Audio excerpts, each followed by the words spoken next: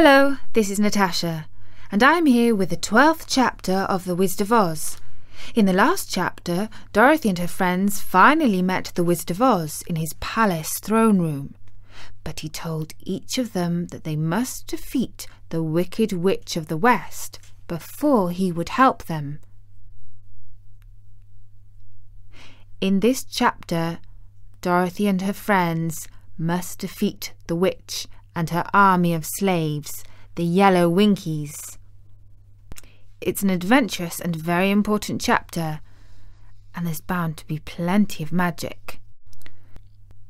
The soldier with the green whiskers led them through the streets of the Emerald City until they reached the room where the guardian of the gates lived. This officer unlocked their spectacles to put them back in his great box and then he politely opened the gate for our friends. Which road leads to the Wicked Witch of the West? asked Dorothy. There is no road, answered the guardian of the gates. No one ever wishes to go that way. Mm. How then are we to find her? inquired the girl. That will be easy, replied the man. For when she knows you are in the country of the Winkies, she will find you and make you all her slaves. Perhaps not, said the Scarecrow. For we mean to destroy her. Mm. Oh, that is different, said the Guardian of the Gates. No one has ever destroyed her before. So I naturally thought she would make slaves of you, as she has of the rest. Mm, but take care, for she is wicked and fierce, and may not allow you to destroy her. Keep to the west where the sun sets, and you cannot fail to find her. They thanked him and bade him good-bye, and turned toward the west walking over fields of soft grass dotted here and there with daisies and buttercups. Dorothy still wore the pretty silk dress she had put on in the palace, but now to her surprise she found it was no longer green, but pure white. The ribbon around Toto's neck had also lost its green colour, and was as white as Dorothy's dress. The Emerald City was soon far left behind. As they advanced, the ground became rougher and hillier, for there were no farms nor houses in this country of the West, and the ground was untilled. In the afternoon the sun shone hot in their faces, for there were no trees to offer them shade, so that before night Dorothy and Toto and the lion were tired, and lay down upon the grass and fell asleep, with the woodman and the scarecrow keeping watch. Now, the wicked witch of the west had but one eye, yet that was as powerful as a telescope, and could see everywhere. So as she sat at the door of her castle, she happened to look round and saw Dorothy lying asleep with her friends all close about her. They were a long distance off. So she blew upon her silver whistle that hung about her neck. At once there came running to her from all directions a great pack of wolves.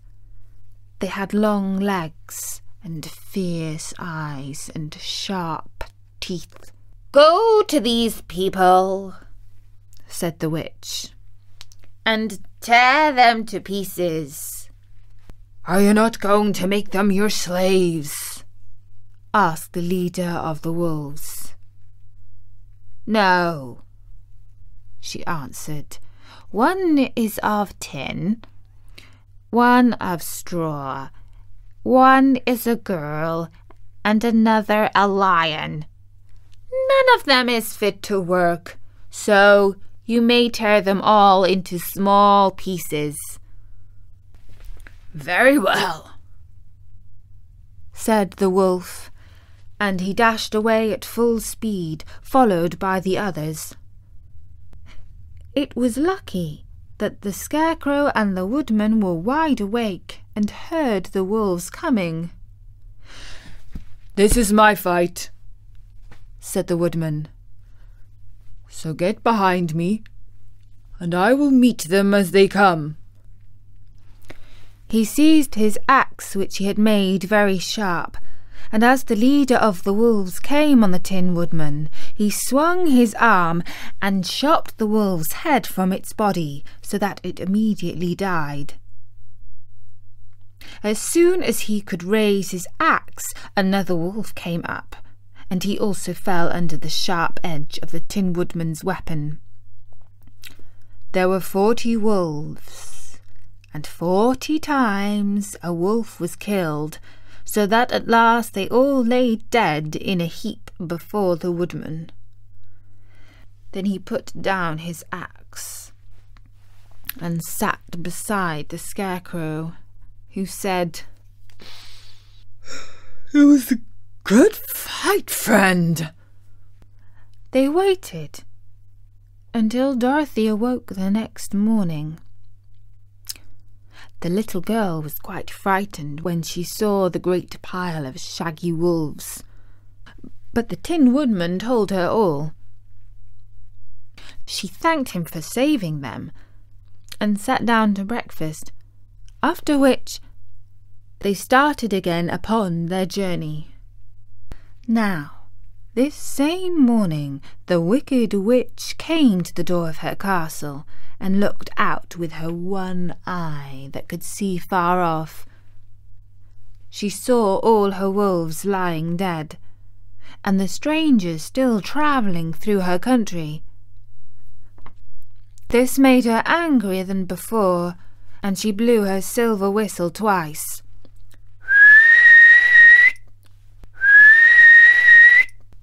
Straight away a great flock of wild crows came flying towards her, enough to darken the sky. And the wicked witch said to the King Crow, Fly at once to the strangers, peck out their eyes, and tear them to pieces. The wild crows flew in one great flock towards Dorothy and her companions and when the little girl saw them coming, she was afraid.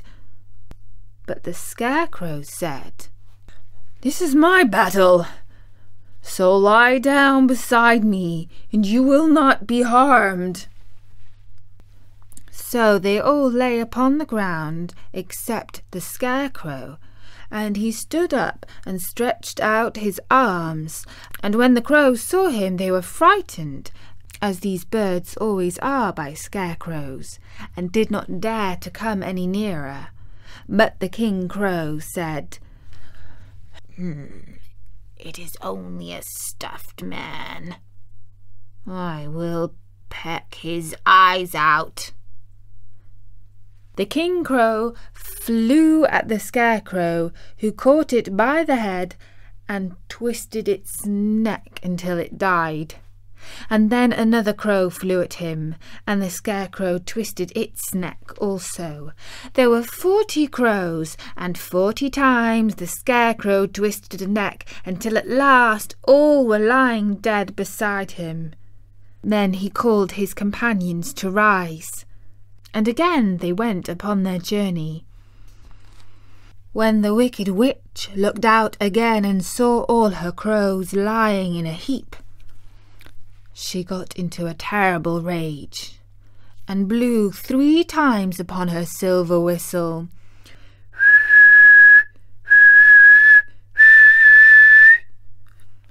Forthwith there was heard a great buzzing in the air, and a swarm of black bees came flying toward her. Go to the strangers and sting them to death commanded the witch. And the bees turned and flew rapidly until they came to where Dorothy and her friends were walking. And the Scarecrow had decided what to do. take out my straw and scatter it over the little girl, and the dog, and the lion, he said to the woodman, and the bees cannot sting them. This the Tin Woodman did, and as Dorothy lay close beside the lion and held Toto in her arms, the straw covered them entirely. The bees came and found no one but the Tin Woodman to sting, so they flew at him and broke off all their stings against the tin without hurting the woodman at all. And as bees cannot live when their stings are broken, that was the end of the black bees, and they lay scattered thick about the woodman like little heaps of fine coal. Then Dorothy and the lion got up, and the girl helped the Tin Woodman put the straw back into the scarecrow again until he was as good as ever. So they started on their journey once more. The wicked witch was so angry when she saw her black bees in little heaps like fine coal that she stamped her foot and tore her hair and gnashed her teeth. And then she called a dozen of her slaves, who were the Winkies, and gave them sharp spears, telling them to go to the strangers and destroy them. The Winkies were not brave people, but they had to do as they were told. So they marched away until they came near to Dorothy. Then the lion gave a great roar and sprang towards them. And the poor Winkies were so frightened that they ran back as fast as they could. When they returned to the castle, the wicked witch beat them well with a strap and sent them back to their work, after which she sat down to think what she should do next. She could not understand how all her plans to destroy these strangers had failed.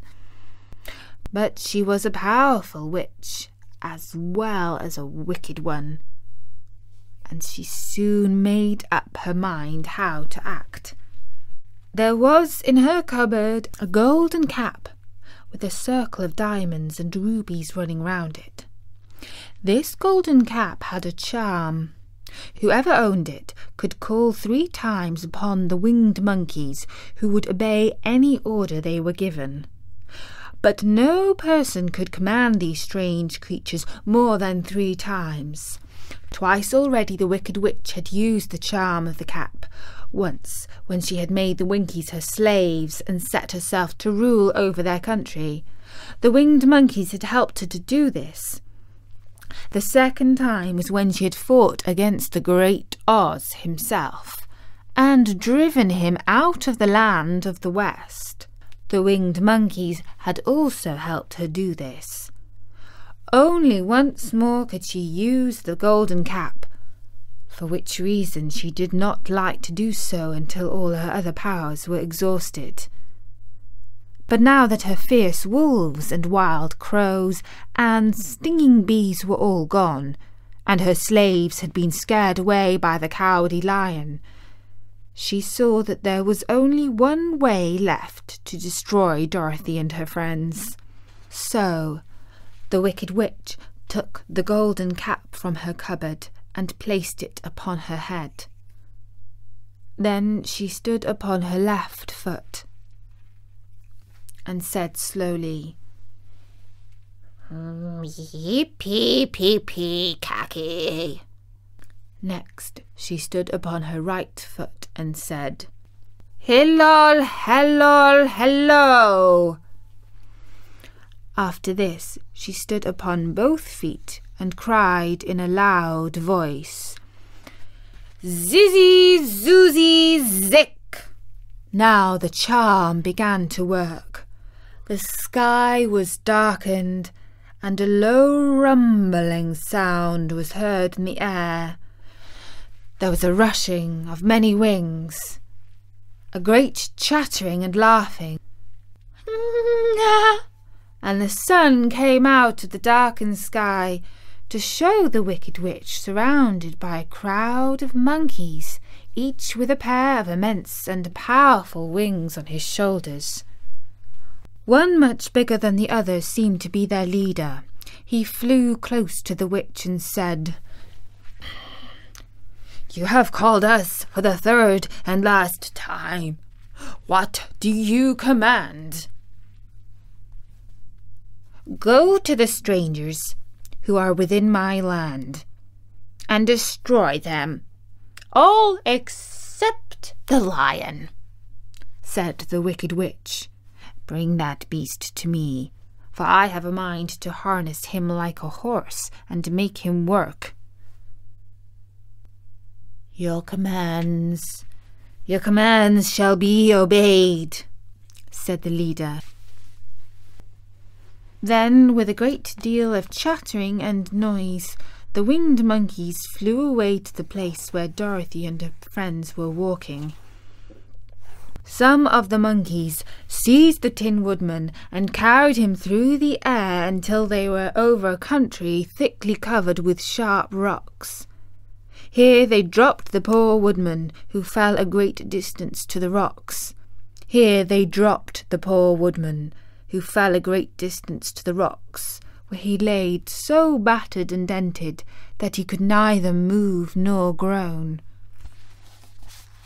Others of the monkeys caught the scarecrow, and with their long fingers pulled all of the straw out of his clothes and head. They made his hat and boots and clothes into a small bundle and threw it to the top branches of a tall tree. The remaining monkeys threw pieces of stout rope around the lion and wound many coils about his body and legs until he was unable to scratch or struggle in any way. Then they lifted him up and flew away with him to the witch's castle, where he was placed in a small yard with a high iron fence around it, so that he could not escape. But Dorothy they did not harm at all. She stood with Toto in her arms, watching the sad fate of her comrades, and thinking it would be her turn. The leader of the winged monkeys flew up to her, his long, hairy arms stretched out, and his ugly face grinning terribly. But he saw the mark of the good witch's kiss upon her forehead, and stopped short motioning the others not to touch her. Hmm. We dare not harm this little girl, he said to them, for she is protected by the power of good, and that is greater than the power of evil. All we can do is to carry her to the castle of the Wicked Witch and leave her there so carefully and gently. They lifted Dorothy in their arms and carried her swiftly through the air until they came to the castle, where they sat her down upon the front doorstep. Then the leader said to the witch, We have obeyed you as far as we were able.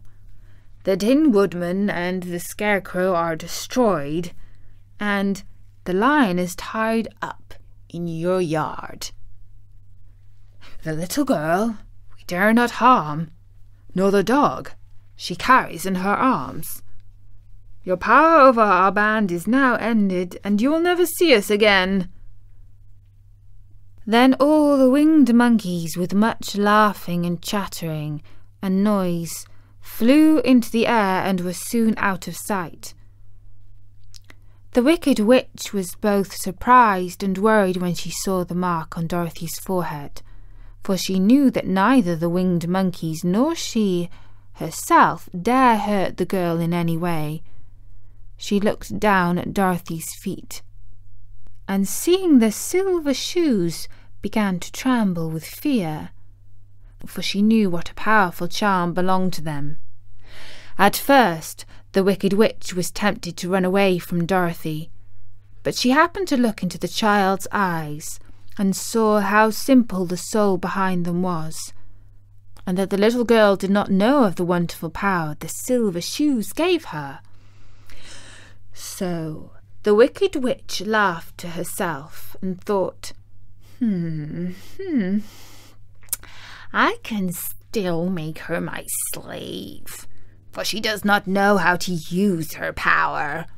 Then she said to Dorothy, harshly and severely, Come with me and see that you mind everything that I tell you. For if you do not, I will make an end of you as I did the Tin Woodman and the Scarecrow. Dorothy followed her through many of the beautiful rooms in her castle, until they came to the kitchen where the Wicked Witch bade her clean the pots and kettles and sweep the floor, and keep the fire fed with wood. Dorothy went to work meekly, with her mind made up to work as hard as she could, for she was glad the Wicked Witch had decided not to kill her. With Dorothy hard at work, the witch thought she would go into the courtyard and harness the cowardly lion like a horse. It would amuse her, she was sure, to make him draw her chariot whenever she wished to go to drive. But as she opened the gate, the lion gave a loud roar and bounded at her so fiercely that the witch was afraid and ran out and shut the gate again. Hmm. if I cannot harness you, said the witch to the lion, speaking through the bars of the gate. Hmm, I can starve you. You shall have nothing to eat until you do as I wish. So, after that, she took no food to the imprisoned lion, but every day she came to the gate at noon and asked, Hmm, are you ready to be harnessed like a horse? And the lion would answer, No. If you come into this yard, I will bite you.